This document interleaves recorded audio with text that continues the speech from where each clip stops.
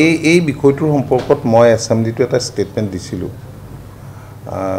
সন্মানীয় কেইবাগৰাকীও সদস্যৰ প্ৰশ্নৰ উত্তৰত।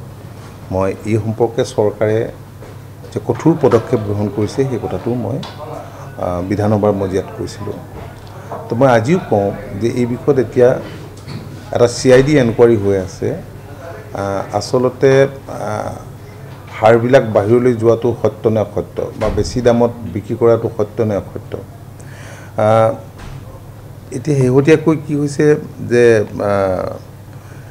এইখিনি কৰি থকাৰ মাজতে মই দেখিছোঁ যে সাৰ বিক্ৰী কৰাটোৱেই বন্ধ হৈ পৰিছে।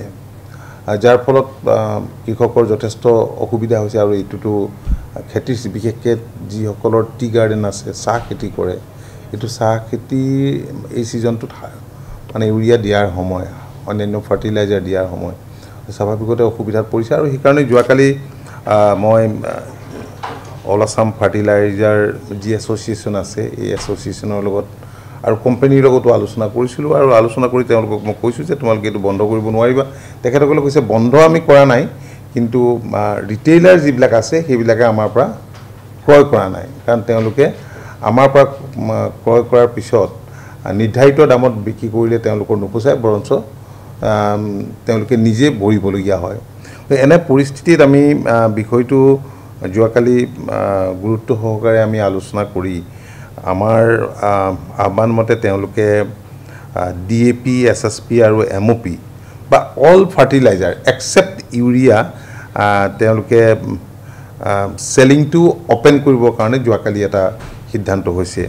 আৰু এই বিষয়টোৰ সম্পৰ্কত আমি বিস্তৃতভাৱে মাননীয় মুখ্যমন্ত্ৰীৰ লগতো আমি আলোচনা কৰিম। কাৰণ মুখ্যমন্ত্ৰী ডাঙৰীয়াই এই বিষয়টোৰ সম্পৰ্কত অৱগত হয় নিজেই।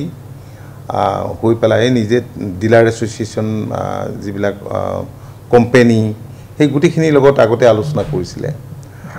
আলোচনা কৰি তেওঁলোকক কঠোৰভাৱে নিৰ্দেশো দিয়া হৈছিলে দিছিলে। তাৰপিছতে আমি ষ্ট্ৰীম লাইন কৰিবৰ কাৰণে আমি বহুতখিনি বিভাগৰ তৰফৰ পৰা কাম কৰিছিলোঁ। কাৰণ আমি বহুতখিনি লাইচেঞ্চ আমি কেঞ্চেলো কৰিছিলোঁ। মূল কথা হ'ল যে তেওঁলোকে পি ইউ এছ মেচিনটো ব্যৱহাৰ নকৰে য'ত আমাৰ কাৰণে কিমান চেল হৈছে কিমান পাইছে কি ৰেটত কৰিছে এইখিনি উলিওৱাটো স্বাভাৱিকতে অসুবিধা হৈছে।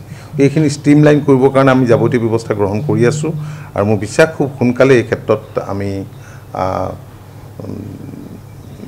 সাৰৰ যোগান যাতে নিয়মীয়া হয় সেই ক্ষেত্ৰত আমি যিখিনি কৰিছোঁ আমি সফল হ'ব পাৰিম। আৰু অন্যহাতে এটা অসুবিধা হৈছে যে যিমান আমাৰ ৰিকুৱাৰমেণ্ট আছে সেইমতে আমি চৰকাৰৰ পৰাও আমি সেইখিনি আচলতে আমি নাপাওঁ। সেইখিনি বঢ়াবৰ কাৰণেও আমি যোগাযোগ কৰিছোঁ। মই ভাবোঁ যে ইন ফিউচাৰ কৃষকৰ দীৰ্ঘদিন ধৰি যিটো সমস্যা হৈ আহিছে কৃষকৰ সমস্যাৰ সন্মুখীন হৈ আহিছে এইখিনি দূৰ কৰিব আমি পাৰিম। নাই চাওক সেইটো বুলিও ঠিক নকওঁ অনুসন্ধান হৈ আছে ডিপাৰ্টমেণ্টেল এনকুৱাৰীও হৈ আছে গতিকে এনকুৱাৰী হোৱাৰ পিছত এই গোটেই কথাখিনি আপোনালোকক আমি স্পষ্ট কৰিব পাৰিম। এইখন এইখন পালানৰ